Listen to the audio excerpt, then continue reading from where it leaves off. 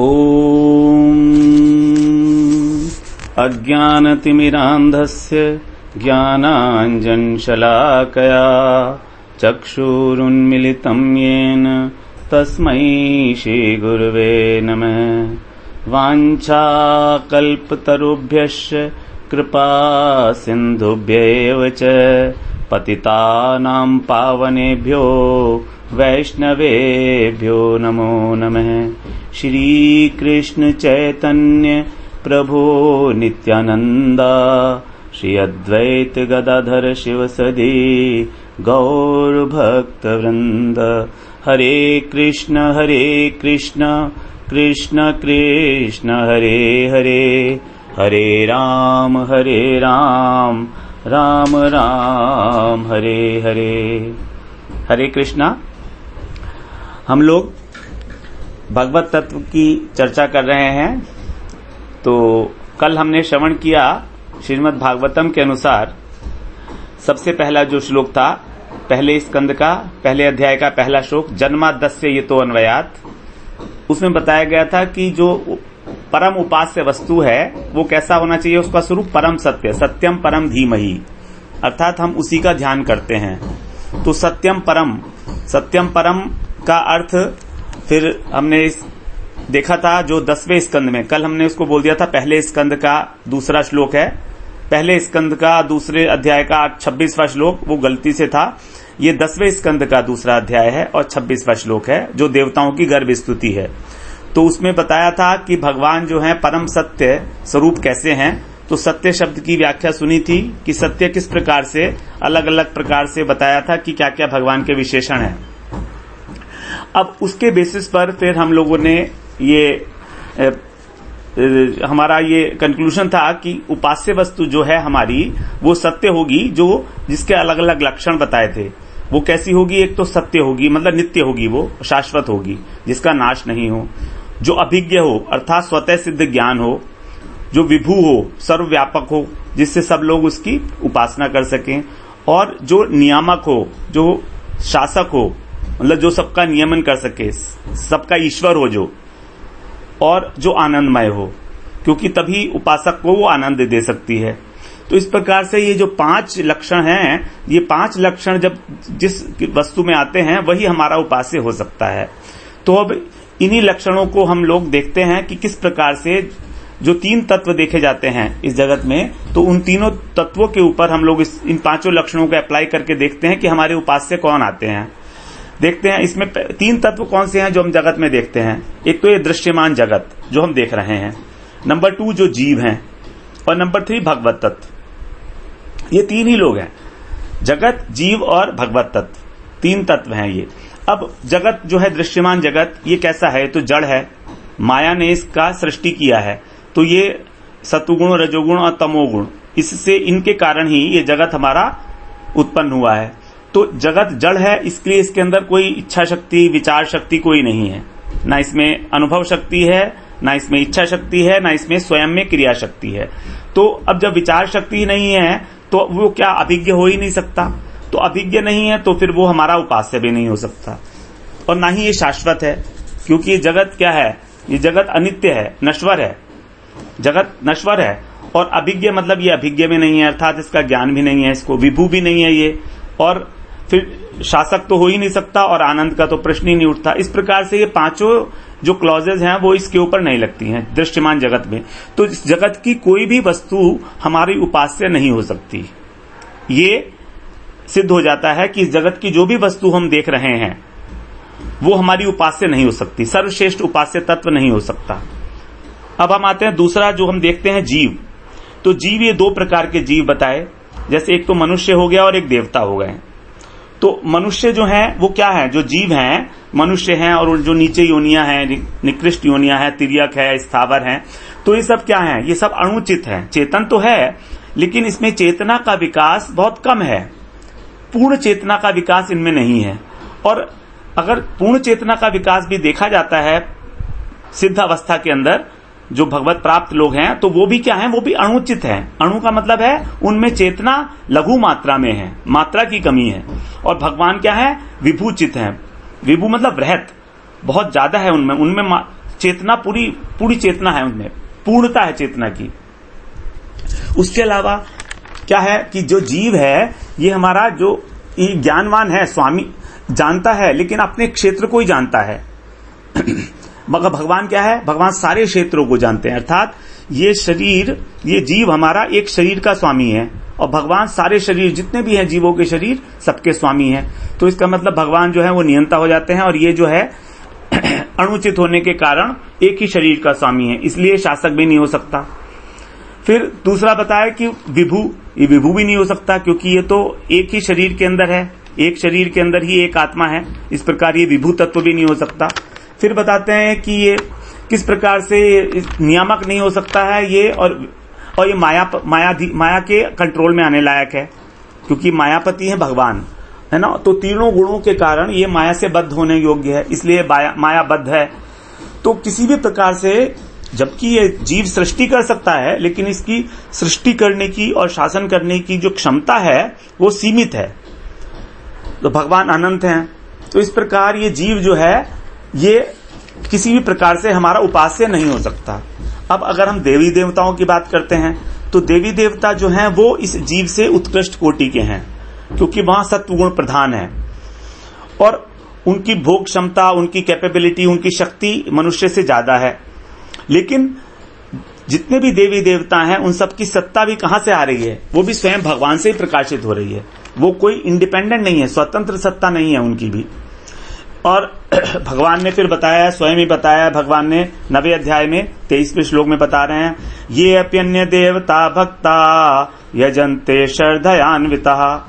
ते अपि मामेव कौनते यजंती अविधि पूर्वकम बता रहे हैं, भगवान की जो लोग अन्य देवता की पूजा करते हैं, भक्ता, भक्त लोग, जो अन्य देवताओं की पूजा करते हैं, वो कैसे करते हैं? श्रद्धा के साथ। जैसे हम लोग अन्य देवी देवताओं की पूजा करते हैं, दुर्गा की करते हैं, ब्रह्मा जी की करते हैं, गणेश जी की, सूर्य की, शिव जी की, ये इंद्र की, वरुण की, ये जितनी भी देवी देवताओं की पूजाएँ हैं, ये श्रद्धा के साथ कर रहे हैं। ते अपनी माँ में वो कौन ते है? तो जो उनकी पूजा है, उसको ग्रहण कौन करता है? वो कह रहे हैं, भगवान, मैं ग्रहण करता हूँ इनको। वो मेरी ही पूजा है। लेकिन फिर भी बता रहे हैं, यजंती अविधि पूर्वकम। लेकिन वो विधि पूर्वक नहीं है। अर्थात विधि नहीं है उसके अंदर। तो इसका मतलब क्या हुआ? कि विधि अगर नहीं है तो जो भगवान के पास उनकी पूजा जा तो रही है। भगवान के पास उनकी पूजा जा रही है, लेकिन उनका जो फल है, वो भगवान प्रदान नहीं करेंगे। वो उन, उस देवी देवता के अंडर में जितनी भी उनकी सीमित शक्ति है, उस हिसाब से वो उसका फल प्रदान कर सकते हैं। देवी देवता की पूजा तो भगवान को प्राप्त हो रही है, लेकिन जो पूजा करने वाला स्वयं, वो आपको प्राप्त नहीं कर रहा है। भगवान को वो पूजा करने वाला जो है, वो प्राप्त नहीं करता है। भगवान, उसकी पूजा भगवान को प्राप्त होती है। तो सबकी पूजा देवताओं के माध्यम से भगवान को प्राप्त हो रही है, क्योंकि उन देवताओं की कोई स्वतंत्र सत्ता नहीं है।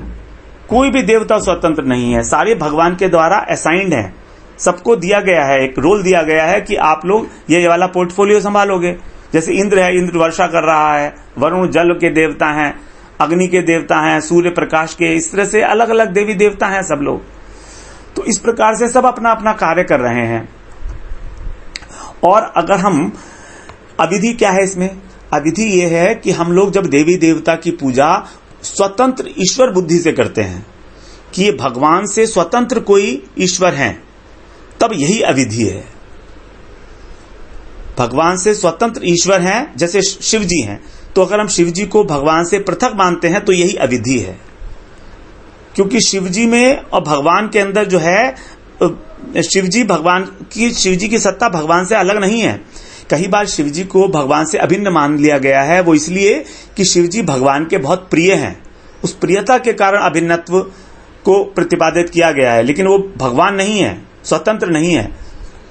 वो क्या है? वो भगवान की विभूति है। और भगवान गीता में बता रहे हैं दसवें अध्याय में उन्होंने अपनी अनेक विभूतियों के वर्णन किया है। और वहाँ पर बता रहे हैं, रुद्राणाम शंकर शास्मी वित्तेशो यक्ष रक्षसाम रुद्राणाम शंकर शास्मी जितने रुद्र हैं, ग्यारह रुद्र बताए गए हैं ना?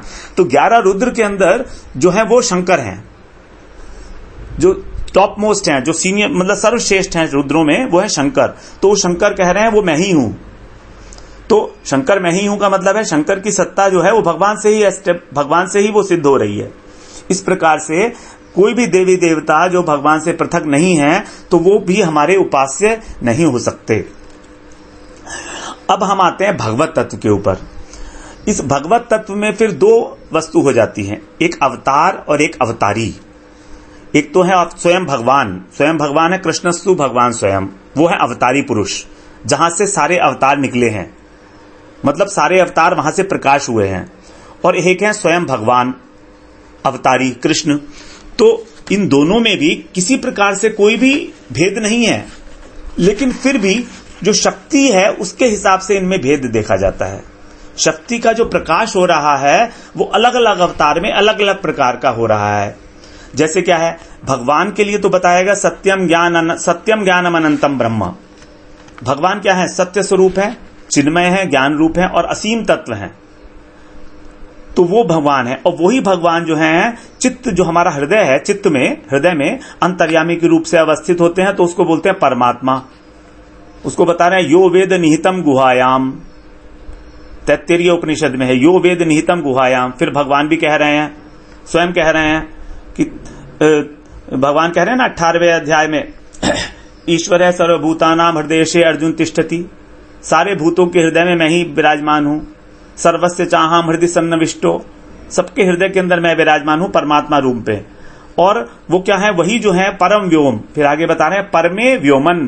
परमे व्योमन मतलब वो परम व्योम में, अर्थात वैकुंठ में वो विराजमान तत्व, उसको क्या बोलते हैं? नारायण। वो नारायण है। तो वही ब्रह्म है, वही परमात्मा है, वही नारायण है। तो इनमें किसी भी प्रकार का कोई भेद नहीं देखा जाता है। लेकिन फिर भी भेद बताया गया है। भेद किस प्रकार का है? सिद्धांत रूप से कोई भेद ना होके भी जो रस की स्थिति है, उसके हिसाब से भेद बताया गया है नारायण में और भगवान में, कृष्ण में। क्या बताया? सिद्धांत सिद्धांत तत्व भेदे अपी शीश कृष्ण स्वरूपयो। कि मतलब सिद्धांत ततः स्व सिद्धांत ततः तो अभेदे अपी, कि दोनों में अभी अभेद है दोनों में। शीश कृष्ण स्वरूप, शीश का मतलब नारायण।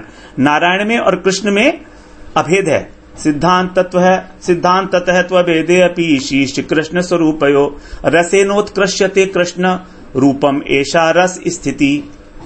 यहाँ पर बता, रसेनोत्कृष्यते कृष्ण, रस की उत्कृष्टता के अनुसार जो है कृष्ण इसमें ऊपर हो जाते हैं, क्योंकि कृष्ण में रस स्थिति है, रूपम ऐसा रस स्थिति, क्योंकि रस की जो स्थिति है वो कृष्ण में ही है। इसीलिए आनंद के आस्वादन के अनुसार जो है वो कृष्ण को, कृष्ण की जो लीलाएँ हैं, कृष्ण की जो माधुरी है, कृष्ण का जो रूप है, उस प्रकार से वो और अधिक आनंद देने लायक हो जाता है। इस प्रकार से वो हमारे उपास्य तत्व अधिक उपास्य तत्व हो जाते हैं, कृष्ण ही हमारे। और कृष्ण स्वयं ही कह रहे हैं ना, जैसे हमने पहले सुना था, कृष्ण बार बार कहे जा रहे हैं कि मैं ही हूँ सब कुछ। मेरी ही उपासना करो, मेरी ही शरण में आओ। सर्वधर्मान पर माम एकम शरणम ब्रज और कहीं पर जाने की कोई आवश्यकता क्या है? मेरी शरण में आ जाओ आप। इस प्रकार हम देख रहे हैं कि भगवान बार बार बता रहे हैं। अब कृष्ण जो है, वो किस प्रकार से जो है, एक ही मात्र उपास्य हो सकते हैं? इसके लिए हम लोग पहले देख लेते हैं कि भगवान के कितने प्रकार के अवतार होते हैं। भगवान के कितने प्रकार के अवतार होते हैं? भगवान के छह प्रकार के अवतार बताए गए हैं। जैसे सबसे पहला अवतार है उनका पुरुषावतार। पुरुषावतार पुरुतावतार का मतलब इसमें तीन प्रकार के पुरुष हैं, मानी तीन जो विष्णु हैं। जो विष्णु तत्व, यानी कि जो पूरे विश्व में व्याप्त हैं तो कारणोदक शाही विष्णु, जिनको महाविष्णु बोलते हैं, जो कारणोदक समुद्र में शयन करते हैं, जो इस ब्रह्मांड के और वैकुंठ के बीच में विरजा नदी है, उसके अंदर। दूसरा है गर्भोदक शाही विष्णु, जिनके नाभि कमल से ब्रह्मा जी की उत्पत्ति होती है, और वो ब्रह्मांड की रचना करते हैं। और तीसरे हैं क्षीरोदक शाही विष्णु, जो क्षीर समुद्र में शयन करते हैं, और जो सभी जीवों के हृदय में अंतर्यामी रूप से विराजमान है, जिनको परमात्मा कहते हैं। ये क्षीरोदक शाही विष्णु ही हैं हमारे पालनकर्ता। फिर दूसरे अवतार बताते हैं गुणावतार। गुणावतार का गुणावतार तो हम जानते हैं, ब्रह्मा, विष्णु, महेश। ब्रह्मा सृष्टि करता, विष्णु पालन करता और महेश संहार करता।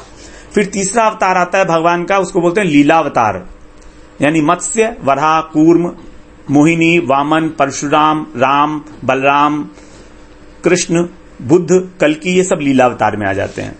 उसके बाद मनवंतरावतार हैं। मनवंतर अवतार मतलब एक कल्प में चौदह मनवंतर होते हैं। ब्रह्मा जी का जो एक दिन होता है, उसको हम बोलते हैं एक कल्प। तो एक कल्प में चौदह मनवंतर होते हैं और प्रत्येक मनवंतर में एक अवतार होता है। उस मनवंतर को जो नियंत्रित करता है। तो उन सबके नाम है अलग अलग यज्ञ, विभू, सत्यसेन, हरि, वैकुंठ, अजित, वामन, सार्वभौम, ऋषभ, विश्वक्सेन धर्म सेतु सुदामा, यज्ञेश्वर और वृहद भानु ये चौदह मनवंता अवतार हैं। उसके बाद पांचवा आता है युगावतार। ये चार बताए गए हैं, चार तरह के युग होते हैं, सतयुग त्रेता युग द्वापर युग और कलयुग। तो सतयुग में शुक्ल, ये वर्ण के हिसाब से इनका नामकरण भी उसी हिसाब से किया गया। इनका वर्ण है ये, उसी प्रकार से उनका नाम भी रखा गया है। तो सतयुग में उनका नाम है शुक्ल, क्योंकि वो शुक्ल वर्ण के हैं। मतलब सफ़ेद रंग मतलब वो गोरे हैं वो, शुक्ल हैं, है ना? नंबर टू है रक्त। रक्त वर्ण के होने के कारण त्रेता युग में उनको बोला रक्त। तीसरा है द्वापर में कृष्ण, क्योंकि वो कृष्ण रंग के हैं, श्याम रंग के हैं, और फिर चौथे में पीत वर्ण के हैं, कलयुग में, पीत वर्ण के। ये है युगावतार। उसके बाद छठा है शक्तियावेश अवतार। ये छह अवतार हैं। शक्तियावेश का अवतार है जब किसी जीव के अंदर भगवान किसी अपनी शक्ति को डाल देते हैं। तो ये शक्तियावेश अवतार जो है, भगवान का अंश नहीं है, ये जीव है। और किसी किसी भी कारणवश भगवान अपनी शक्ति जो है उस जीव के अंदर भेज देते हैं। तो उसमें ये वाले शक्तियावेश अवतार आ जाते हैं। जैसे अगर भक्ति की शक्ति देखें तो उसमें नारद जी आ जाते हैं। पालन शक्ति अवतार है। पालन शक्तियावेश पृथु महाराज। ज्ञान शक्तियावेश चतुसन। सनक, सनंदन, सनातन और सनत कुमार। फिर व्यास जी, जिन्होंने भागवत लिखी है, वो भी शक्तियावेश। परशुराम जी, वो भी शक्तियावेश। इस प्रकार से छह प्रकार के अवतार हमने देखे जाते हैं भगवान के। अब इनमें से पाँच अवतार जो हैं, वो तो स्वयं भगवान के अंश हैं, जिसको बोलते हैं स्वांश। और दूसरे जो हैं, वो भगवान, जो जीव हैं, जीव के अंदर भगवान ने अपना उनमें आवेश जो है, वो डाला है तो इसलिए उनको बोला, अपनी शक्ति का आवेश डाला तो उनको बोले शक्ति आवेश अवतार। अब इस विषय में एक बात बस और समझ लें, कि हम देखते हैं कि भगवान में, कृष्ण में, और सब अलग अलग जो देवी देवताएँ हैं और जीव हैं, उसमें गुणों के अनुसार भी भेद देखा जाता है। जैसे साधारण जीव में पचास गुण हैं जो बहुत सूक्ष्म मात्रा में पाए जाते हैं। पचास गुण हैं। यही पचास गुण जो है देवताओं में थोड़े से ज़्यादा होते हैं। जैसे ब्रह्मा है, शिवजी हैं तो ये पचास गुण उनमें ज़्यादा होते हैं। और इन पाँच, पचास के अलावा पाँच गुण अतिरिक्त हो जाते हैं। जैसे वो अपने स्वरूप में स्थित रहते हैं, वो सर्वज्ञ हैं वो नित्य नवीन है, सच्चिदानंद है, और सार, सारी सिद्धियाँ उनके पास हैं। ये पाँच गुण जो हैं, जितनी देवी देवता हैं तो अलग अलग देवी देवता में अलग अलग हिसाब से शक्ति के अनुसार सब में ये पाँच गुण हो जाते हैं तो हो जाते हैं पचपन गुण। अब इन पचपन गुण से ऊपर फिर पाँच गुण और अधिक देखे जाते हैं नारायण में। नारायण का मतलब कौन से हैं नारायण? विष्णु शिरोदक शाही विष्णु जो हमने बात की थी, जो पुरुषावतार में आते हैं, जो पालन करते हैं सृष्टि का। तो क्षीरोदक शाही विष्णु जिसको नारायण भी बोलते हैं, क्योंकि वो शयन करते हैं क्षीर सागर में, इसलिए उनको नारायण बोलते हैं। तो ये पचपन गुणों के अतिरिक्त पाँच गुण उनमें और अधिक मात्रा में देखे जाते हैं। पाँच गुण वो कौन कौन से हैं? वो अचिंत्य शक्तिशाली हैं। उन कोटि ब्रह्मांड विग्रह हैं। उनसे अनंत कोटि ब्रह्मांड उत्पन्न होते हैं। फिर अवतारों के बीज हैं, यानी सारे अवतार उनसे प्रकट होते हैं। जितने भी अवतार होते हैं, लीला अवतार अभी हमने सुने, मत्स्य वामन, कर कूर्म, वामन, परशुराम इत्यादि जो भी हैं, वो सब उनसे उत्पन्न होते हैं। इसलिए वो उसके कारण है, अवतारों के बीज। फिर है हतारी गतिदायक। यानी अगर वो किसी का, किसी को मारते हैं तो वो उसको मोक्ष प्रदान कर सकते हैं। मोक्ष तक उनको प्रदान कर सकते हैं वो।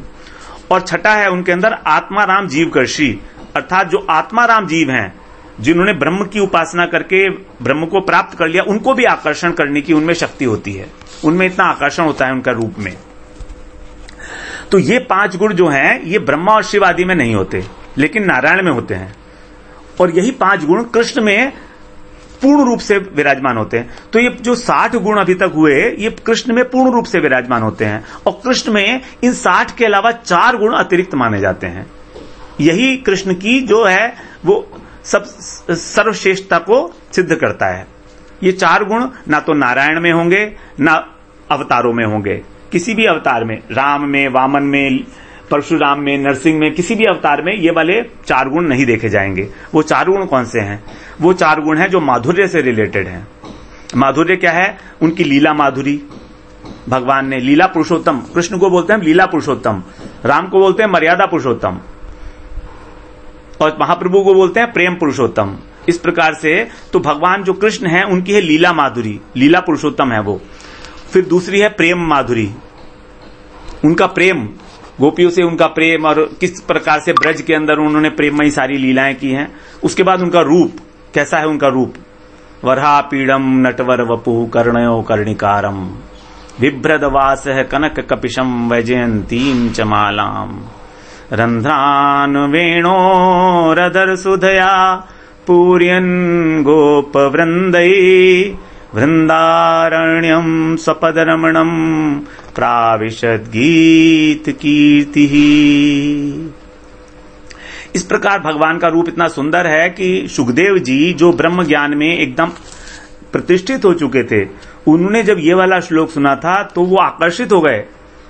और आकर्षित होकर फिर स्वयं अपने पिताजी व्यास जी के पास जाकर उन्होंने श्रीमद भागवत का अध्ययन किया पूरा।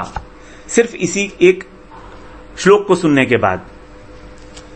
तो यह है भगवान की रूप माधुरी का वर्णन। भगवान कितने सुंदर हैं, कृष्ण। और उनके बाद वेणु माधुरी। वो तो हम जानते ही हैं, भगवान जब वेणु बनाते थे बजाए तो किस प्रकार से जो चेतन जीव थे, वो अचेतन को प्राप्त हो गए, और जो अचेतन थे, वो चेतना को प्राप्त हो गए। यमुना जी का जल ठहर गया। वृक्षों से रस का स्त्राव होने लगा।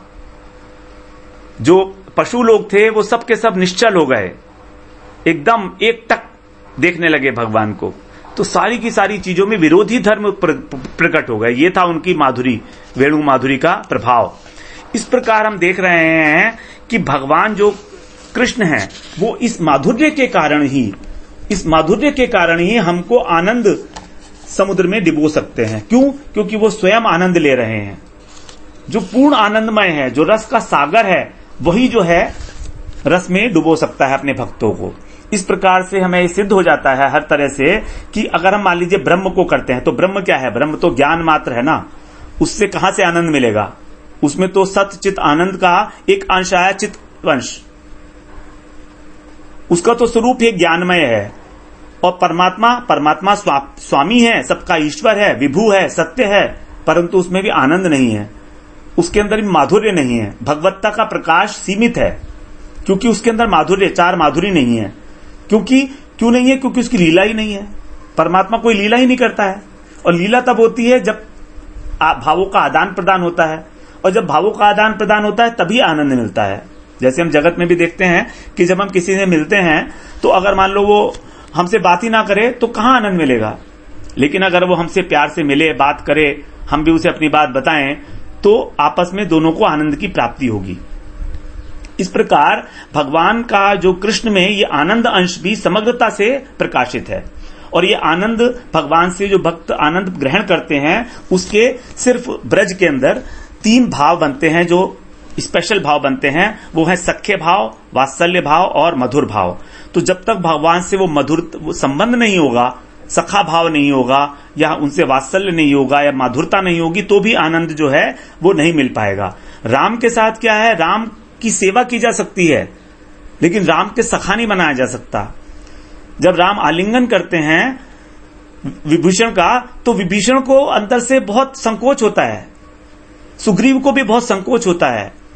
राम को नहीं, राम तो आलिंगन कर रहे हैं, उसको सखा मान रहे हैं, मगर वो सखा नहीं मान रहे, पा रहे उनको। वो उनको अपना स्वामी मान रहे हैं। वो स्वयं को उनका दास मान रहे हैं। तो वहाँ पर आनंद सीमित हो रहा है कहीं पर, किसी जगह पर। इसी प्रकार से राम में जो पाँच मुख्य रस थे, शांत रस, दास्य रस, सख्य रस, वात्सल्य रस, वो वात्सल्य रस और मधुर रस, इन पाँच मुख्य रसों में भगवान राम के अंदर जो है, वो ढाई रस प्रकट हुए हैं। शांत रस, दास्य रस और सख्य रस भी आधा, क्योंकि भगवान की तरफ़ से सख्य था। भक्त की तरफ़ से सख्य नहीं आया पूरा। तो ढाई रस ये भगवान राम के अंदर प्रकट हुए और कृष्ण में तो पाँचों के पाँचों रस पूर्णता के रूप, पूर्णता से विराजमान है। इस प्रकार हम देख रहे हैं कि सिर्फ़ रस की स्थिति भगवान कृष्ण में होने के कारण उनसे आनंद परिपूर्णतम मात्रा में मिलता है। क्योंकि वहाँ पर मधुर रस तक भगवान की सेवा की जा सकती है। गोपियाँ भगवान की मधुर रस से उपासना करती थी। नंद बाबा, यशोदा वात्सल्य रस से भगवान को, भगवान की उपासना करते थे। सेवा करते थे। भगवान के दास हैं सब लोग। लेकिन फिर भी रस की स्थिति अलग अलग है। तो जितना आनंद जितना आनंद कृष्ण को गोपियों के साथ मिलता था, उतना आनंद नंद यशोदा के साथ नहीं मिला। उतना आनंद अपने सखाओं के साथ नहीं मिला।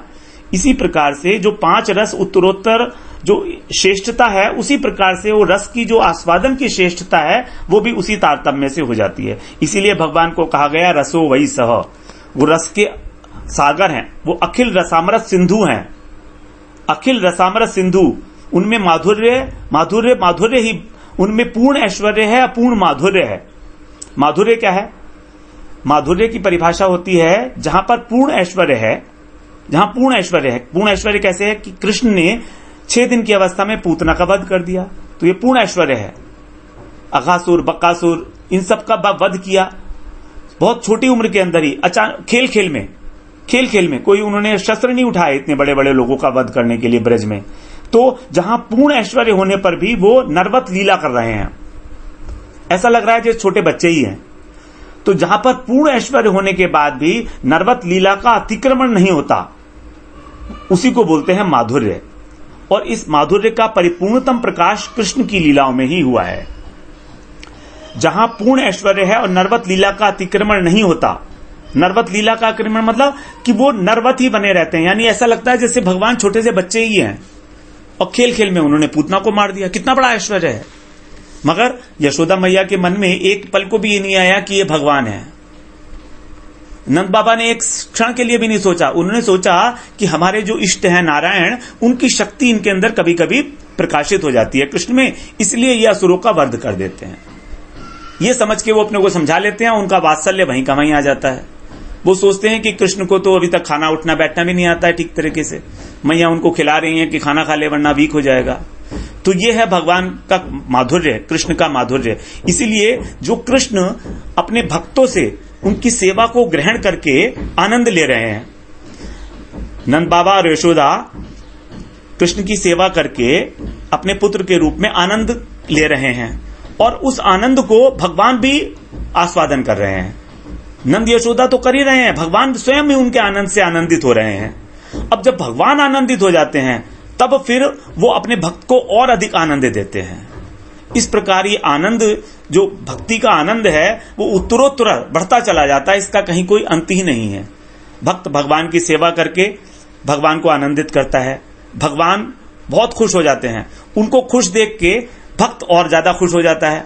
अब जब भगवान भक्त को खुश देखते हैं तो वो भी और खुश हो जाते हैं। इस प्रकार ये आनंद की जो होड़ा होड़ी है, वो चलती रहती है, अनंत काल तक चलती रहती है। कभी कभी कभी इसमें तृप्ति का अनुभव होता ही नहीं है। तो भक्ति एक ऐसी वस्तु है, जहाँ पर भगवान का दर्शन करके कभी तृप्ति हो ही नहीं सकती। Enough is never enough it goes on increasing and increasing always and always it goes on increasing इसीलिए भक्ति की महिमा है। क्यों? क्योंकि भगवान स्वयं आनंदित होकर अपने भक्तों को आनंद का दान देते हैं। और यहीं पर हमारा आनंद, जो हमारी आनंद की खोज है, वो हमारी आनंद की खोज तभी समाप्त होगी जब भगवान स्वयं हमको आनंद देंगे अपनी ओर से। हम कितना आनंद ले सकते हैं? और ना ही हम इतने कैपेबल हैं। तो भगवान उस आनंद को ग्रहण करने की शक्ति भी हमको देंगे और वो आनंद भी देंगे। यही है। इसलिए एकमात्र कृष्ण ही हमारे उपास्य हो सकते हैं, क्योंकि उनमें ये सब कुछ जितने भी लक्षण थे, वो भगवत्ता के ये पूर्णतः प्रकाशित हो जाते हैं। वांछा कल्पतरुभ्य कृपा सिंधुभ्य पतिता नाम पावनेभ्यो वैष्णवेभ्यो नमो नमः।